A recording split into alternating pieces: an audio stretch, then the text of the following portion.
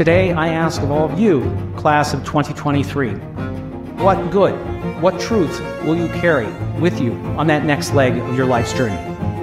My friends, my fellow classmates, we need your enthusiasm, your creativity, your intellect, and yes, your compassion to create the world we all want to live in.